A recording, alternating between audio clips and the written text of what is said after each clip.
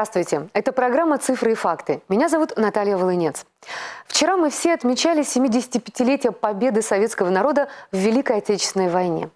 На начало этого юбилейного года Министерство труда и социальной защиты обнародовало следующие данные. На 1 января 2020 года на территории нашей области проживало чуть более трех с половиной тысяч человек, очевидцев и участников этих событий.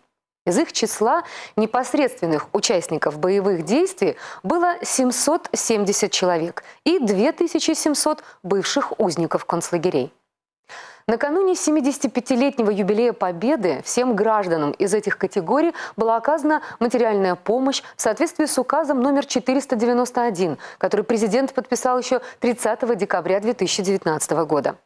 Стоит отметить, что поддержка ветеранов в нашей стране носит не разовый, а систематический характер. Это повышенный размер пенсионного обеспечения и другие формы материальной поддержки. Но самое главное – это наша память и всеобщее внимание. Сегодня поддержкой ветеранов занимаются различные общественные благотворительные организации, волонтерские движения. Говоря о празднике Великой Победы, мы помним не только о живых, но и отдаем дань памяти павшим – на 1 января 2020 года в Гомельской области на государственном учете состояло 1119 воинских захоронений и захоронений жертв войны.